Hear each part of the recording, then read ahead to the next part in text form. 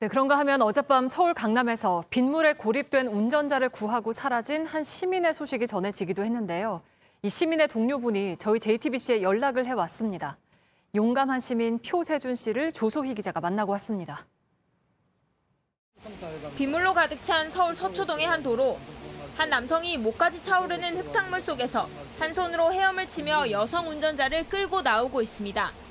여성에겐 구명환 대신 플라스틱으로 된 주차 금지대를 쥐어줬습니다. 어떤 분이 어떤 여, 여성분 구해주는 여성을 구한 뒤 사라진 남성은 국방부 소속 공무원 27살 표세준 씨. 당시 인근을 지나던 표 씨는 물이 가득 찬 왕복 6차선 도로 가운데 고립돼 도움을 청하는 운전자를 봤습니다.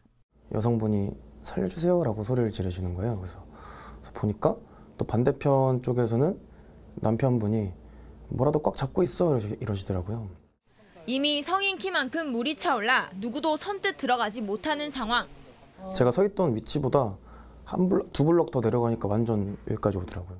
초등학교 때 유소년 수영 선수로 활동했던 표 씨는 일단 뭐라도 가지고 들어가 구해야겠다는 생각에 주차 금지통을 갖고 뛰어들었습니다. 빨리 구해드려야겠다라는 생각밖에 없어가지고 어머니가 이 몸통 분 손으로 잡으시고 제가 이 손잡이를 잡고 한 손으로 헤엄쳐서 결국 표 씨는 운전자를 안전한 곳까지 구해냈습니다. 남편분한테 잘 인계해드리고 조심히 잘 들어가시라고 인사 나누고 배수관이 쓰레기로 가득 차며 물이 차오르자 맨손으로 이를 건져낸 남성도 있었습니다. 폭우로 마비된 도심에서 위험을 무릅쓰고 나선 시민 영웅들이 빛났습니다. JTBC 조소입니다.